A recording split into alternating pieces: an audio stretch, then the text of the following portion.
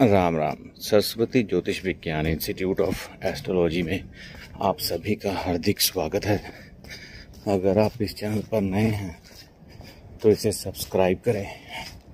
Video अच्छा लगे तो लाइक व शेयर करें।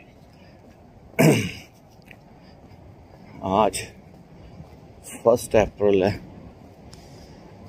तो कल, यानी कि दो अप्रैल को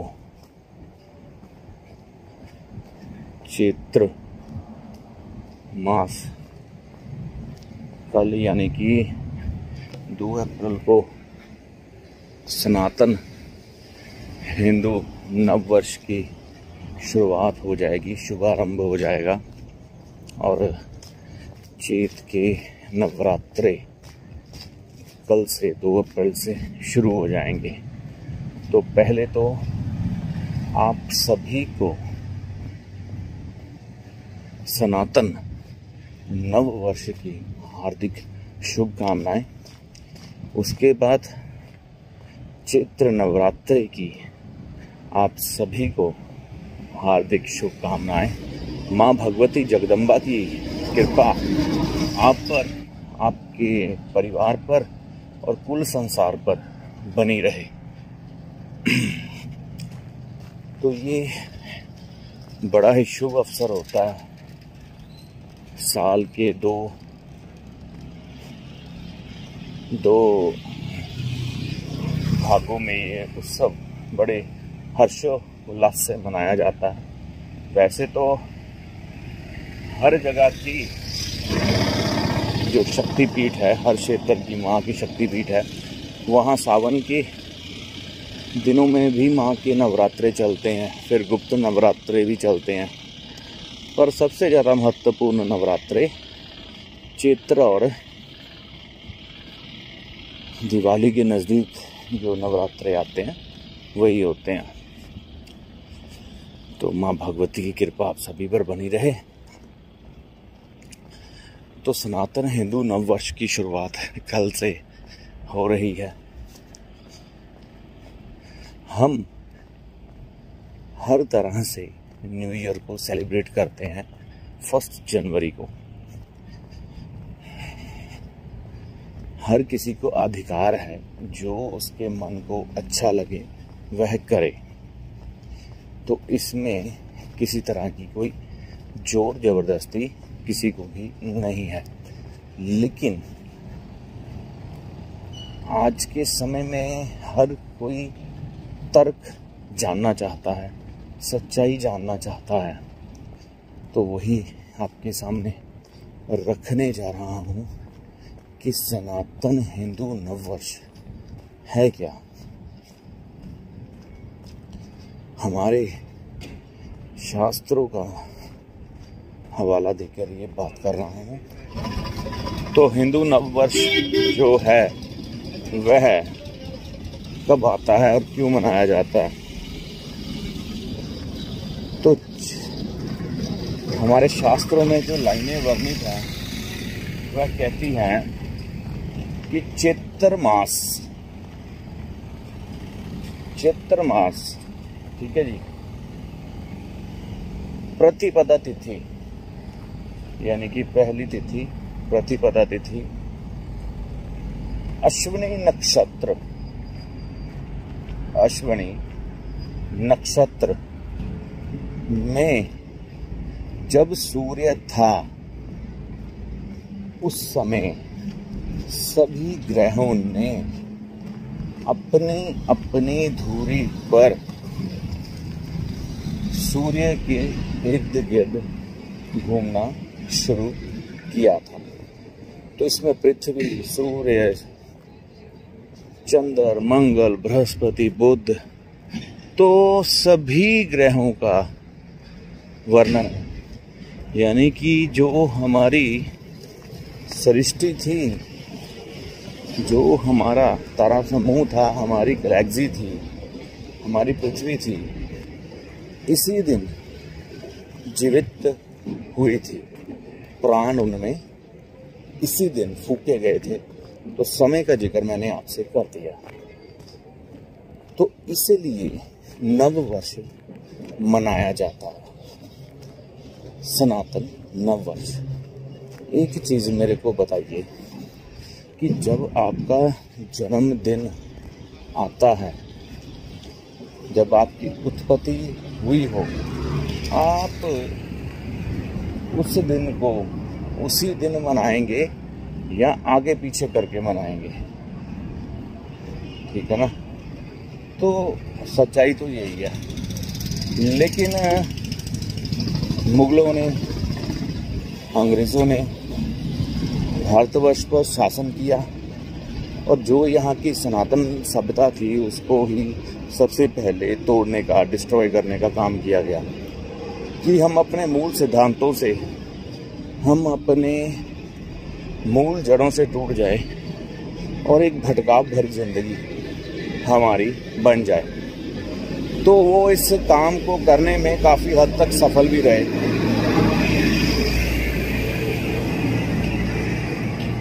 तो एक पीढ़ी को, जो हमारी एक जनरेशन है, अगर उसको, उसके मूल सिद्धांतों से, मूल जड़ों से,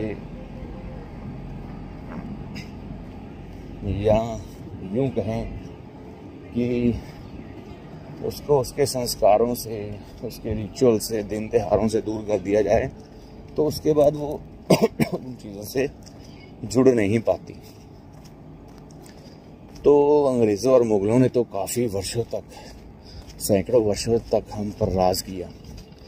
तो उनका उद्देश्य यही था कि हिंदू कहीं ना कहीं या तो कन्वर्ट हो जाए या गुलाम बन जाए।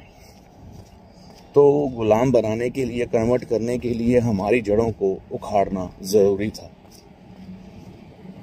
ठीक है? तो उन्होंने जो समाज का ढांचा था, उसको ही पकड़ के बिगाड़ दिया। कुछ प्रेम से, कुछ पैसों के लालच से, कुछ पदवी की लालच से, और कुछ मौत के डर से। हमारे, जो सिद्धांत हमारे धर्म के दिन, त्योहार या हमारी जो धारणाएँ हमारे हर तरह के रीति रिवाज थे, उनको तोड़वा दिया। तो वहीं से हिंदू धर्म का पतन या हिंदू सभ्यता का पतन शुरू हो गया। लेकिन ये पतन कभी होगा नहीं, क्योंकि सनातन जो है ना, वो कभी ख़त्म नहीं होता। ये हमेशा वापस आता है। ये जाता है, फिर आ जाता है जाता है, फिर आ जाता है। तो ये जो मुस्लिम धर्म और क्रिश्चियनिटी है, ये राहु ग्रह से संबंधित है। ठीक है ना? तो बृहस्पति का जो धर्म है तो वो सनातन है, जो जिसका कभी अंत नहीं होता। क्योंकि हमेशा बुराई बढ़ती है, लेकिन बुराई का हम आखिर में देखते हैं कि अंत हो जाता है। तो बस जो सिद्धांतिक रूप से हमें एक बात समझने की ज़रूरत है कि जिन दिनों में भरपूर ठंड होती है, यानी कि फ़र्स्ट जनवरी तो उन्होंने इस चीज़ को यीशु मसीह के साथ जोड़ के देखा। वो उनका, उनकी खुशी है, वो जैसे चाहें वैसे करें, हमें एतराज़ नहीं है।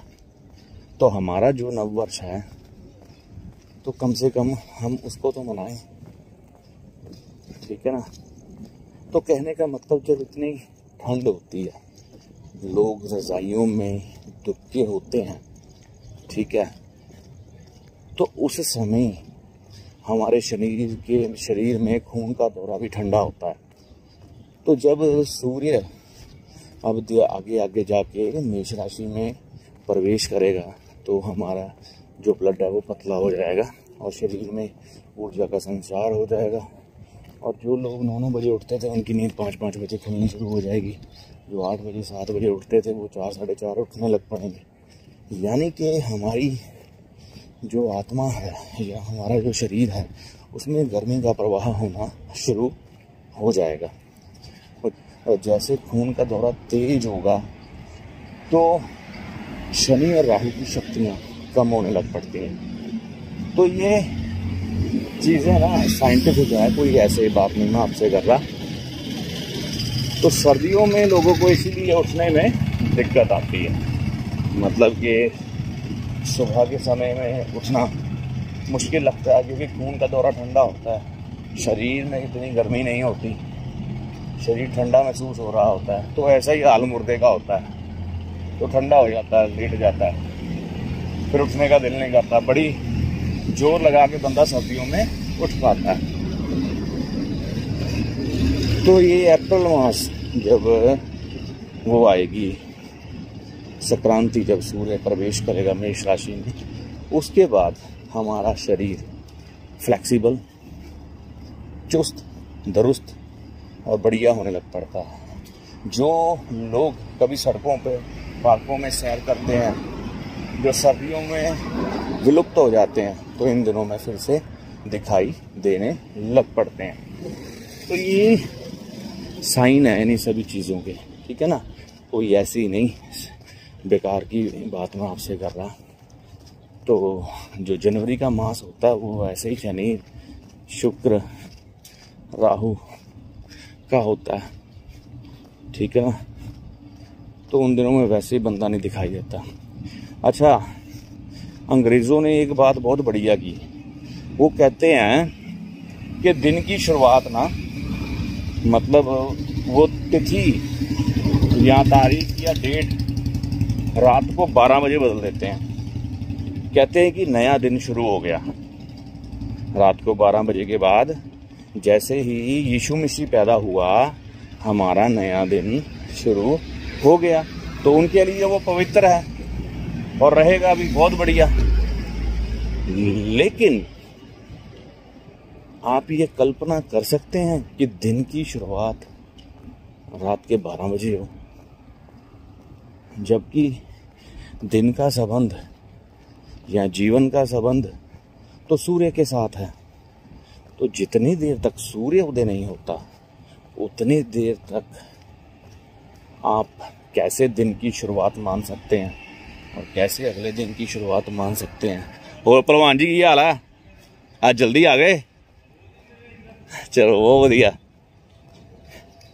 तो दिन की शुरुआत जैसे ही सूर्य निकलेगा, उसी समय मानी जाएगी।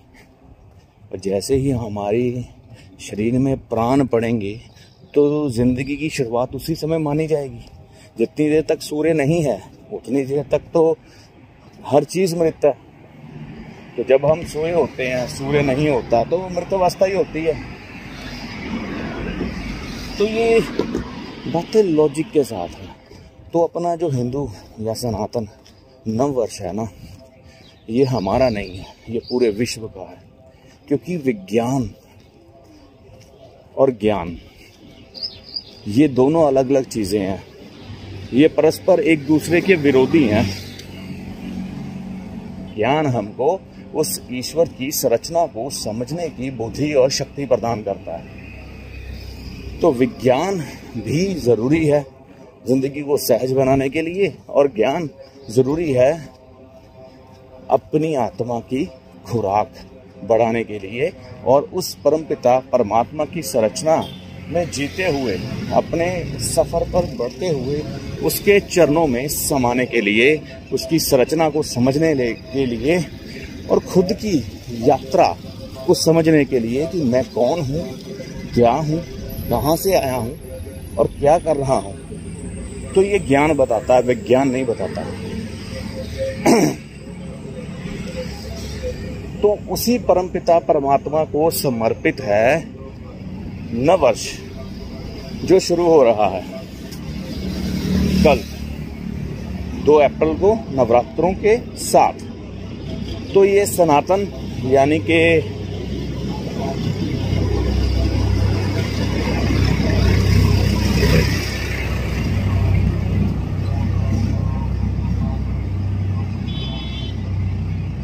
बृहस्पति, सूर्य, चंद्र और मंगल ने के साथ संबंध रखता है। ठीक है? तो आप जितना मर्ज़ी भाग लो, आपको आखिर में इन्हीं ग्रहों की शरण में आना पड़ेगा।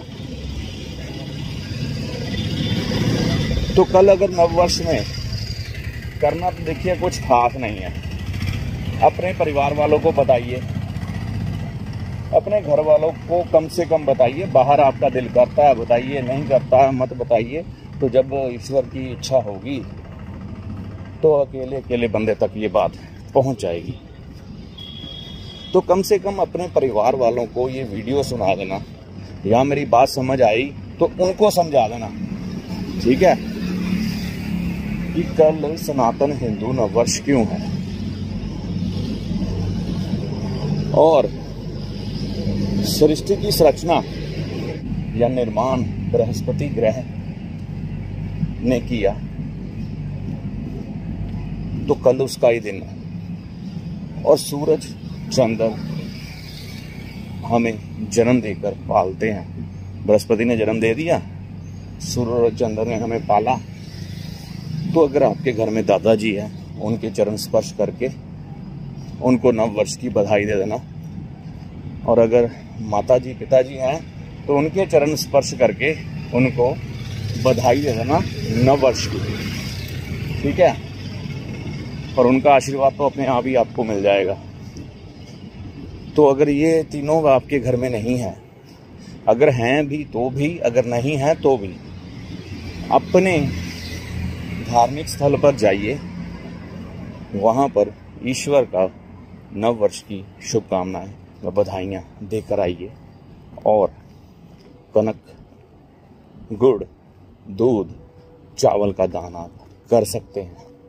और जो वहाँ पर धर्म का अनुयायी बैठा है, अब वो किसी भी धर्म से संबंधित हो तो मैं बात करूँगा सनातन की। पंडित जी वहाँ बैठे हैं तो उनको कुछ ना कुछ आप दान करके आ सकते हैं।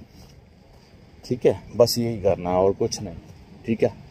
तो इससे आपका नव वर्ष की शुरुआत उस परमपिता परमात्मा ने जो हमारी गैलेक्सी को, हमारे प्लेनेट को, हमारे ग्रहों को कल जीवित किया था, ब्रह्मा जी के द्वारा साँसें भरी थी उनमें, और सूरज ने अपनी ऊर्जा के साथ सभी को चलाना शुरू किया था तो उसकी बधाई सुबह सूर्य की पहली किरण से शुरू हो जाएगी।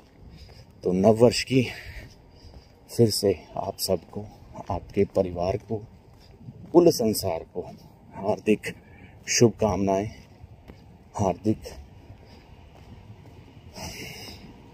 तो ये नववर्ष आपके जीवन में ढेर सारी खुशियाँ लेके आए और ये नवरात्रे, माँ की कृपा आप पर बरसाएँ।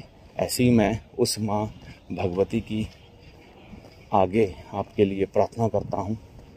तो राम जी की कृपा आप पर बनी रहे, गुरु की कृपा आप पर बनी रहे। जय माता दी।